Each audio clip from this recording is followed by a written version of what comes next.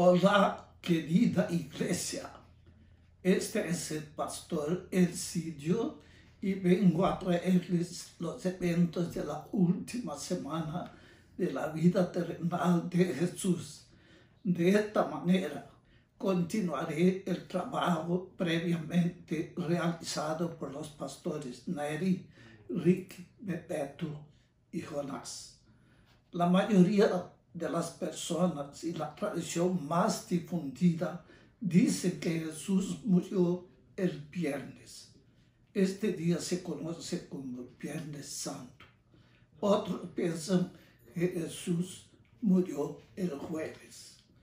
En cualquier caso, los hechos que les contaré ocurrieron en la víspera de la muerte de nuestro Señor Jesús. Este fue el primer día de los panes ácidos, pan sin levadura. Te explicaré lo que esto significa. El calendario judío es diferente al nuestro y es lunisolar. Esto significa que sus meses se basan en los ciclos de la luna y tienen 29 o 30 días. Sin embargo, los años se basan en el ciclo del Sol y pueden ser de 353, 354 o 355 días. En el primer mes del año judío, llamado el mes de Nisan, que comienza al amanecer del 14 y termina al anochecer del 21, se celebra la liberación del pueblo judío del cautiverio de Egipto. El día 14, el pueblo judío celebra el primer día de los panes ácidos. Durante los próximos ocho días, todos los alimentos que contienen levadura están completamente prohibidos esto se observa para recordar que el pueblo de Israel salió apresuradamente de Egipto y no había tiempo para que la masa preparada para hacer pan fermentara. Otro detalle importante, el cordero pascual se mata justo después de la mitad del día, el día 14. El día 14 termina y el día 15 comienza con la puesta del sol. La Pascua se celebra esa noche el 15 de Nisan. La familia judía se reúne y comen la cena de Pascua, incluido el cordero de Pascua. Esta comida se conoce como ceder. Para su información, en el año 2020, de acuerdo con nuestro calendario llamado calendario gregoriano, al pueblo judío celebró, el pueblo judío celebró la Pascua el 8 de abril, miércoles. Los siete días de panes ácidos se extienden del 16 al 21. Bueno, volvamos al texto bíblico. En el primer día de los panes ácimos, Jesús reveló a los discípulos que debían encontrar a cierto hombre que les mostrara una habitación grande en el piso superior de la casa, amueblada y preparada para celebrar la cena de Pascua juntos. Como vimos anteriormente, el diablo ya había puesto en el corazón de Judas la traición a Jesús.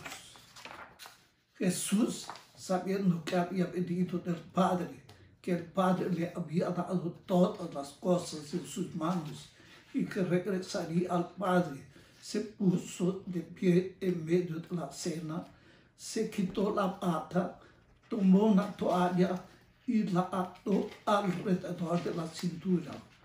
Puso agua en un recipiente y comenzó a lavar los pies de los discípulos. Después de calmar a Pedro, quien inicialmente se se le opuso, Jesús continuó y declaró al grupo que ya estaban limpios, a excepción de uno de ellos. Se refirió dos veces a aquel que lo estaba traicionando de manera oculta. Luego se puso su túnica y explicó a los discípulos que él, Señor y Maestro, les estaba dando el ejemplo de lo que tenía que hacer. El uno por el otro, así como él lo había hecho con ellos. Creemos que Jesús se estaba refiriendo al hecho de que él, que nunca pecó, nos perdona humildemente cuando pecamos contra Él. Por lo tanto, Él ordena que así como Él lo hace, siempre debemos perdonarnos mutuamente cuando pecamos unos contra los otros.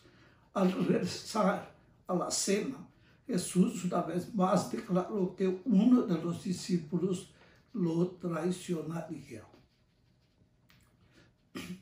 Todos estaban muy inquietos y comenzaron a mirarse y a preguntarle a Jesús quién sería el traidor.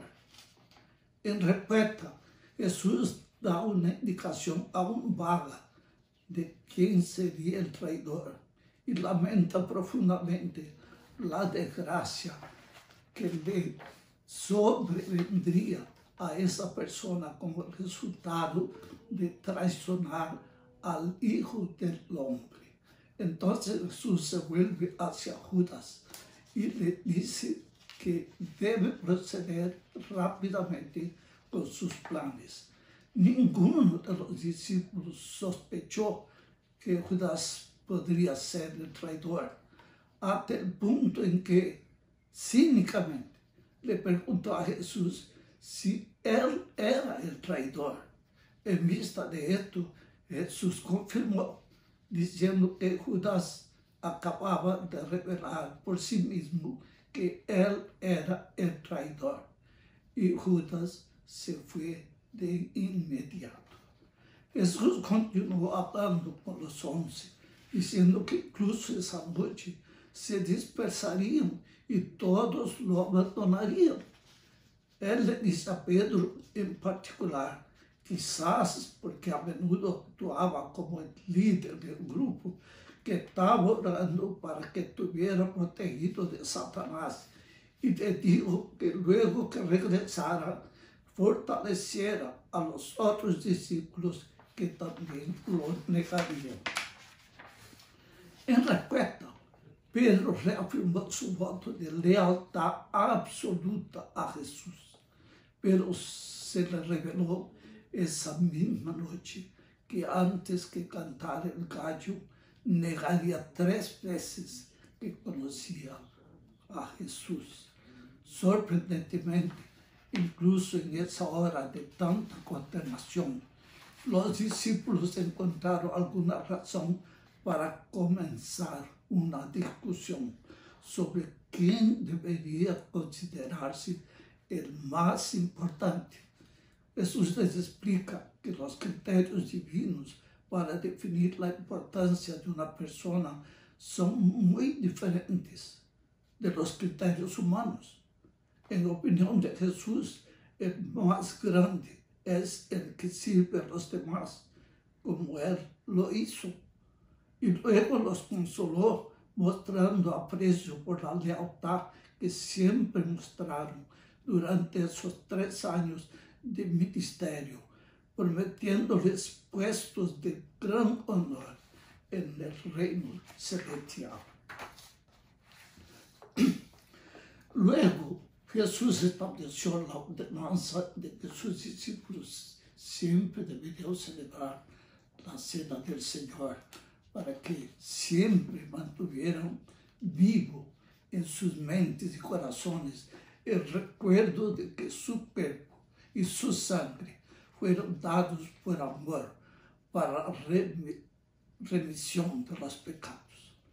Luego Jesús les asegura a los discípulos que no había razón por la cual, a pesar de la gravedad del momento, estuviesen perturbados siempre y cuando creyeran en Él, en Dios el Padre. En realidad, la partida de Jesús debería ser motivo de gran alegría, porque Él prepararía el lugar donde sus discípulos habitarán para siempre en el reino de Dios. De esta manera, Jesús declaró a los discípulos que Él es el único medio por el cual los hombres pueden acercarse a Dios. Además, Jesús enfatizó su unidad con Dios, el Padre, asegurando que después de su partida, sus discípulos harían obras más grandes que las que él, hizo durante su ministerio terrenal. Jesús prometió no dejarlos huérfanos, prometiendo que el Espíritu Santo vendría no solo a vivir con los discípulos, sino que también vendría a vivir dentro de ellos. Y les mostró que la obediencia a los mandamientos de Dios es el sello distintivo de quienes lo siguen. Luego, a través de la ilustración de la vid, sus ramas y frutos, dejó muy en claro que su mensaje no consiste solo en mandamientos a ser obedecidos, sino que su gracia y su poder en la vida de los discípulos lo hace vencedores. Yo soy la vid, ustedes son las ramas. Quien permanece en mí y yo en él, da mucho fruto, porque sin mí no puedes hacer nada. Cristo en nosotros es la esperanza de la gloria y Él mismo capacita a su discípulo a amar a Dios y a su prójimo, así como a obedecer sus otros mandamientos. Jesús también predijo que las persecuciones vendrían sobre aquellos que lo siguen, pero volvió a enfatizar que el Espíritu Santo estaría en ellos para capacitarlos a perseverar y que por esta razón sus vidas traerían muchas glorias a Dios. A continuación, Jesús oró fervientemente al Padre, pidiéndole repetidamente que los discípulos de entonces y todos aquellos que en el futuro se conviertan en sus discípulos nunca pierdan de vista el hecho de que su mayor deseo es que vivan en unidad.